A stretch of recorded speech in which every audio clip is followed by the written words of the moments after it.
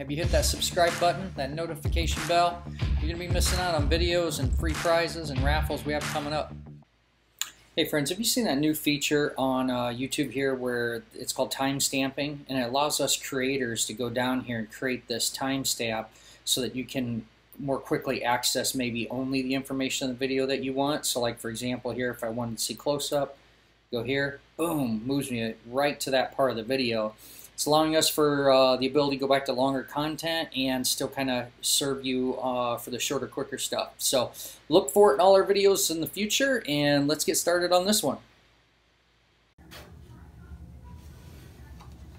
So I'm just getting home from the shop like normal. We're pretty dirty. And uh, one of you subs, uh, Foxtrot, sent me this uh, hand cleaner, this gas off said that it's pretty cool. So I thought that I'd pop a set off Amazon and try them out and see if they actually work. So let's see, removes gas from hands, clothes, and equipment. Free, uh, or excuse me, 15 pre-moistened wipes, 5x8 cleaning wipes for gasoline and diesel. Uh, open pouch by peeling back.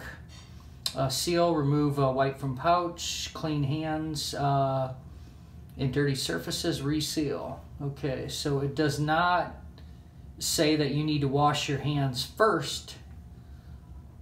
Safe for hands, safe for paint finishes, works on both gasoline diesel. Well, let's see. We're going to try it out.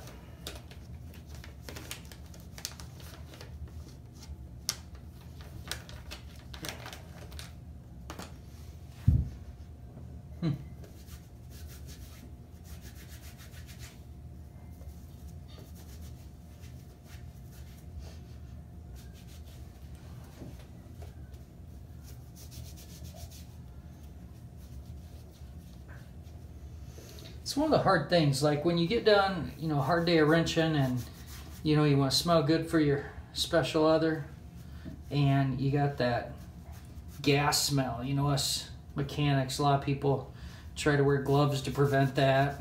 I do in cases. It's obviously taken some stuff off. My biggest thing is, does it get rid of the smell? So I was doing a, a carb job on a generator on the RV that I just sold and it actually i mean my hands smelled completely like fuel. Spilt all over didn't wear gloves carb job parts washer carb cleaner. I mean typical mechanical smell.